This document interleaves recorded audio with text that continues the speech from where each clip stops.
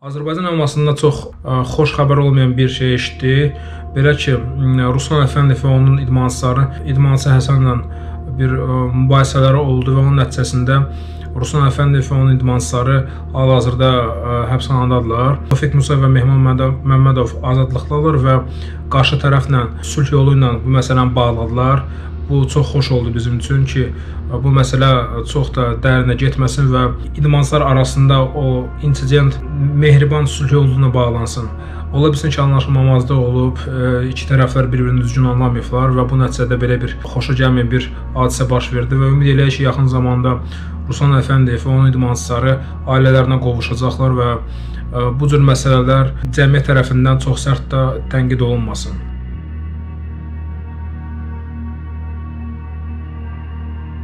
17 fevral əsrin döyüşü baş tutmalı idi. Belə ki, Tyson Fury və Aleksandr Usyk 4 kəmərini ortaya qoyacaqlar və mütləq dünya çempionu qismində bir nəfər oradan çıxacaqdı. Amma əfsuslar olsun ki, Fury zədə aldı, qaşını yardılar sparingdə və döyüş təxirə salındı.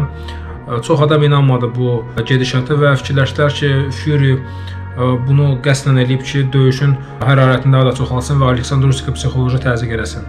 Ola bilər çünki Fury'nin bundan əvvəl də Vladimir Klitschko ilə buna oxşar bir hadisəsi var idi. Amma ki, ərəblər bildirdilər ki, döyüşü 18 maya saldılar və hər iki tərəf razılıq verdi. Belə ki, bu döyüş 18 may baş tutacaq. 79 kilo çəki dərəcəsində 3 versiya üzrə dünya çempionu Artur Biçerbiyev mütləq e, namizəd Callum Smithi 7-ci raundda texniki nokautla məğlub elədi. Və bu döyüş bitməklə biz nəhayət ki, Dmitri Bevol'la yəni çoxdan gözlənilən döyüşün şahidi olmaq olmaq istəyirik və olacağıq da. Döyüş bitəndən sonra xəbər yayıldı və hər iki tərəf bunu təsdiqlədi ki, iyunun 1-i bu döyüş başlayacaq Səudi Ərəbistanında. Nəhayət ki, tərəflər razılığa gəldilər və mega fight, biz buna mega fight deyə bilərik. Bu mega fight iyunun 1-i başlayacaq və 79 kilo çəki dərəcəsinin aqibəti burada həll olunacaq. Usykin ardınca onun dostu Vasiliy Lomachenko döyüş keçirəcək mayda. 12 may o tanınmış Avstraliyalı keçmiş çempion George Kambasosla qarşılaşacaq. Lomachenko üçün bu yəqin ki, son ştrix olacaq. Sonuncu dəfə çalışacaq mütləq dünya çempionu adına yüksəlməyə. Əfsuslar olsun ki, bundan qabaq Devin Haney ilə bu cəhd uğursuz oldu və əgər Lomachenko bu döyüşü qazansa, zənnimcə 61 kilo çəki dərəcəsində mütləq dünya çempionu qismində bu karyerasını bitirə bilər. Joseph Parker Wilder məğlub edəndən sonra çox böyük hype qazandı və çox böyük perspektivalar açıldı.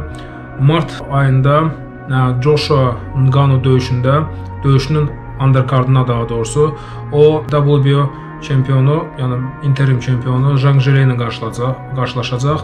Çinli boksçu bundan əvvəlki döyüşdə perspektivli ingilis boksçunu Joe Joyce-u məğlub elədi 2 dəfə nokautla və öz ambisiyalarını nümayiş etdirdi və bu döyüşdə bilinmir necə olacaq. 50-50-yə burada Zhang Jigley də qazana bilər, Joseph Parker də və bu paranın qalibləri çox güman ki, növbəti döyüşdə Joshua Ngannou'nun parasının qalibinə vuruşacaqlar. UFC 300-də bizi bir sürprizlə ə, tanış etdilər. Belə ki, Max Holloway və Justin Gage döyüş keçirəcəklər. Holloway 70 kilo çəki dərəcəsinə qalxır Gage-in çəkisinə və orada əminəm ki 5 raund çox ağır bir döyüş olacaq və hələ ki favorit Gage-dir. Onun ağır zərbələri, pressingi və dözümlüyü bu döyüşdə rol oynaya bilər. Amma Holloway da özünü yaxşı boksçu kimi, yəni MMA-da yaxşı boksçu kimi təqdim elədi, nümayiş etdirdi və ola bilsin ki, Holloway üçün bu döyüş ya geri dönüş nöqtəsi olacaq hər şey ola bilər. Bu isə döyüşün gedişatından asılı olacaq. Ona görə UFC 300-də demək olar ki, ən maraqlı döyüş elə Max Holloway-in və Justin Gage-in qarşı durması olacaq. Yarım ağır divizion çempionu Alex Pereira sevgilisindən ayrıldı. O xəbər tutdu ki, sevgilisi sən demə ərdədir və hələ ki boşanmamışdı. Amma neçə illərdir Alexi aldadırdı və nəticədə Pereira bunu biləndən sonra hisslərini cılalaya bilmədi və sevgilisini evindən qovdu. Və ola bilsin ki, biz Alex Pereira-nı yaxın zamanlarda çox qəmli görəcəyik. Ərəblər Xeyni və Davis döyüşünü bu il keçirmək istəyirlər. İdman və Turizmin e, naziri Alturki əlindən gələni e, eləyəcək ki, bu döyüş baş baş tutsun. Amma ki bu xəbəri eşidən Gervonta Davis özünü təhqir olmuş hesab elədi. O bildirdi ki, əgər Şeyx belə bir təklif eləmək istəyirsə, ən azından onun qapısında bir Ferrari ya da ki, Lamborghini olmalı idi ki, Gervonta danışıqları başlamaq istəsin və onun fikrincə bu heç də düzgün hərəkət deyil və Şeyx ona qarşı böyük hörmətsizlik elədi. Çox maraqlı bir fikir idi. Francis Ngannou Joshua-dan sonra Wilderlə vuruşmaq istəyir. Döyüşün nəticəsindən asılı olmayaraq Ngannou boksda qalmaq istəyir və digər bu çəkinin digər top döyüşçüsü Deontay Wilderlə döyüş keçirmək istəyir. Wilderin Ngannou-nun ambisiyaları çox yüksəkdir və Fury ilə döyüşdə o nümayiş etdirdi ki, o da bir güclü və bu çəkidə nəsə eləyə bilər, nəsə maraqlı bir şeylər gətirə bilər. Ona görə Ngannou burdan uğurlar arzu etmək istəyirəm və fikirləşirəm ki, onun üçün böyük perspektivlər açılır. Hardkorun döyüşçüsü Magomed Zaynalov 10-cu mərtəbədən yıxıldı. Müsahibədə çıxış elədi və dedi ki, pişiyi xilas eləmək istirdi, amma balkondan sürüşdü və maşının üstə yıxıldı. Nəticədə çox ağır zədələr aldı, ayaqlarının topuqları kəsildi və qırıldı.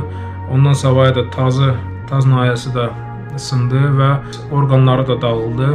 Qan axma baş verdi və hakim həkimlər saatlarla onu ə, bərpa etməyə çalışırdılar. Çoxlu prosedurlar və çoxlu əməliyyatlar keçirdilər. İndi isə Magomed özünü yaxşı hiss edir və bildirir ki, bir 6-7 aydan sonra və uzağı 1 ildən sonra yenidən döyüşlərə qayıdacaq çox yaxşı olardı. Çünki hardkorun çox maraqlı bir personajıdır və döyüş maraqlı döyüşlərdən əlavə çox maraqlı treş toku var. Fedor Emelianenko'nun komandası bildirdi ki, onlar Mike Tyson'la boks döyüşü danışıqlarına aparırlar. Amma Tyson cavab olaraq, daha doğrusu Tyson'ın nümayəndələri cavab olaraq bildirdilər ki, onlar heç kimlə bu danışıq aparmırlar və bu hamısı fake-dir. Ola bilsin ki, Emelianenko öz mənbələrini daha yaxşı yoxlamalıdır. UFC-nin orta çəkinin çempionu Sean Strickland e, Dricus Du Plessis ilə e, Kanadada qarşılaşdı. Ağır döyüş idi. 5 raund e, kəllə-kəlləyə mübarizə gedirdi. Amma qələbəni Dricus Du Plessis-ə verdilər. Çox ekspertlərin fikrincə bu döyüşdə Sean Strickland uduzmamışdı. Ola bilsin ki, biz yaxın zamanda Du Plessis-lə Stricklandın revanşını görəcəyik. Bundan savayı da bir məlumat yayıldı ki, Xamzat Kimayev İsrail Adesanya ilə vuruşacaq. 84 kilo çəki dərəcəsində çox maraqlı bir döyüşlər biz görə bilərik. Yaponiyalı Monster Naoya Inoue və Luis Neri 6 may Yaponiyada vuruşacaqlar. 4 çəkidə dünya çempionu və 2 çəkidə mütləq dünya çempionu Naoya Inoue bugünkü gündə ən yaxşı boksçulardan biridir. Keçmiş e, dünya çempionu Luis Neri isə öz e, gücünü onunla sınamaq, sınamaq istəyir ə, və zənnimcə Naoya Nerini keçməlidir və növbəti addımı isə daha yuxarı çəki dərəcəsinə qalmaq, qalxmaqdır. Naoyanın perspektivləri çox böyükdür, çox ağıllı, istedadlı və sındırıcı qüvvədir. Ola bilsin ki, biz onu hətta 59 kilo çəki dərəcəsinə qədər görəcəyik və hardasa Gervonta Davis ilə ortaq bir e, çəki dərəcəsində döyüş keçirə bilərlər. Amma Gervonta onun üçün çox iridir və ola bilsin ki, Naoya üçün bu döyüş heç də asan olmayacaq. Əfsanəvi boksçu Kostya Cunoğlu Tim Tzu Kit Turmanla 30 mart döyüş keçirəcək. Kit Turman 66 kilo çəki dərəcəsindən ən ə, e, güclü bokslarından idi və keçmiş dünya çempionudur. Tim ə, e, öz re rekordunda bu cür adı daxil eləməklə çox böyük ə, perspektivlər yarana bilər. Boksun parlayan ulduzu Shakur Stevenson idmanı tərk eləyir. Belə ki, sonuncu döyüşü heç də xoşuna gəlmədi və fikrincə bu döyüş bu döyüşdə o Shakur deyildi. Yəni onun yerinə başqası vuruşurdu. Kim vuruşurdu tam hələ bilmədik, amma onu bilirik ki, Shakur bu döyüşdə əvvəlki kimi parlamırdı və bu cür ağır bir onun üçün psixoloji bir zərbə olmandan olmasından savayı Şakor başa düşdü ki, o daha vuruşmaq istəmir.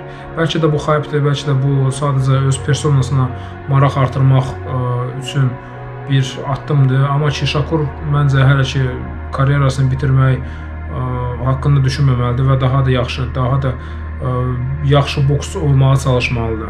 Belə əziz dostlar, bu yanvar ərzində ən maraqlı xəbərlər idi, ən maraqlı anonslar idi.